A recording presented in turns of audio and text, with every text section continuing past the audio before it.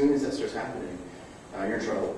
Uh, so try to get there as close as you can without the post effects, and then at the end, put it on. To some degree, they use it a little bit right now. Yeah, I'd say actually, I mean, just thinking about some of the tools that we have in there now, and it's not, not a washed out game like you're talking about, but inside the game control, um, one of our uh, rendering engineers actually has a, a brightness and contrast and an offset, so I could actually take just the darks and bring them up.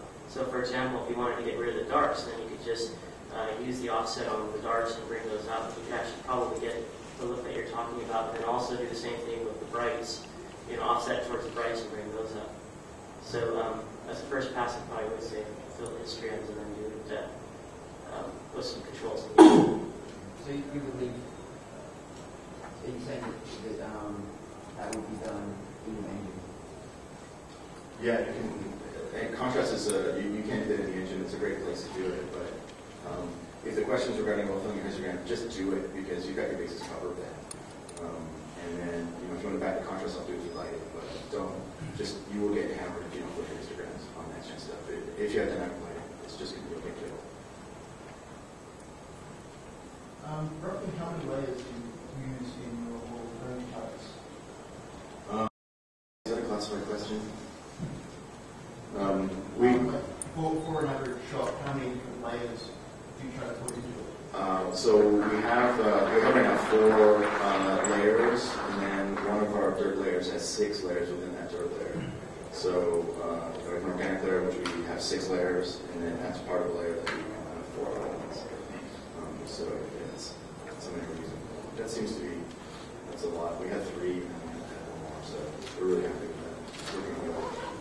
There's a question there, back here. Yeah, how do you guys interface design? Because obviously everyone's something's doing that.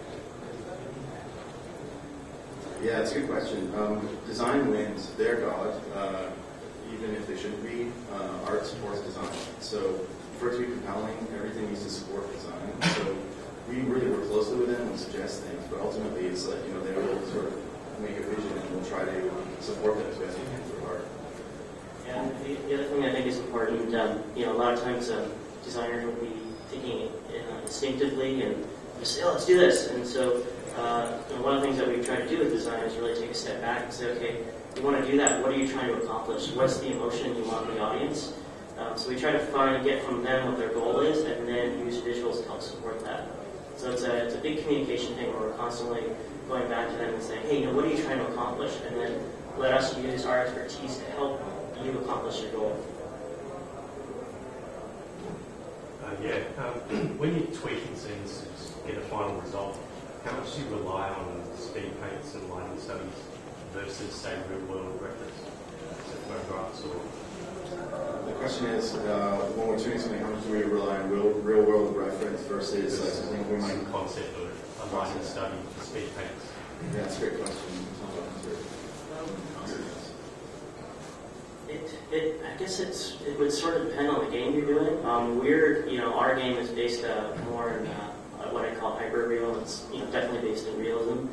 Um, so in that case, I'd probably use uh, photo reference, but the way that we work with the concept art is um, very early on we'll create some, uh, as you saw for, for like event speech, some visual targets uh, using photo reference. Um, that's just, we just have. Uh, and then I start to tune and tweak the colors, and then I'll have the concept artist actually take, uh, say for example, an environment and actually um, draw and paint it with lighting um, to get close to the photo reference. And then as we go into the progress, into the project even more, then we actually went out and shot a reference that was kind of, um, was actually very close to the settings that we're going to create. And then I go back and tweak that, you know, through the Lightroom stuff that, that Adam, Adam said to start to get close to the colors that the concept artist has done. So it's, it's kind of a process of starting off early with just found, found items to start to create the direction early, handing it off to the concept artist to start to bring, you know, that lighting direction um, closer to the game. And then in this case, we could actually go out and shoot it. So we actually did go out and shoot it, and then I take those shots and then bring that back into to uh, close to our concept artist. And then that shot is actually what I give to the to the environment um, lead and, and the lighting leads. We're totally out of time. We've got one, one more question. Anyone's got one more? Yes. Uh, you have some examples of photographs using uh, light as your previous space. Uh, how do you, given that play of the control of the camera, how do you construct an environment that has as a, a build class. Yeah, I mean, it is, it is quite, uh, it's a lot tougher. Uh, well, it would depend again on the game. So ours is open world, so you can go all over the place. I think if you've got more like a, a, a more finite level, you can actually really craft those shots. You know, a game like NBA Street is very easy. Um, so in open world, we can't get it perfect, but we're constantly looking for that. So for example, um, you know, we might see see an edge where we have a hot edge versus a uh, versus another hot edge, and we might say, hey, let's take out that light, so we're creating more spaces. So we, so now we have a dark against the light. Um, the other thing that we're doing, and we're going to do it near the end, is um, um, at least in our game, you know, they're trying to craft the missions a bit more. So we'll know kind of the path that the user is going to take. So we're going to actually go back in once we kind of know more of those those paths are and craft craft that again. Um, but you're right, it's, it is much more difficult in an open world scenario. Um, but we try to have those really high end goals because it's going to get us much higher than, than if we didn't have them. And you don't have perfect cases, um, but we, we get a lot closer um, than if we didn't have, have that kind of thinking.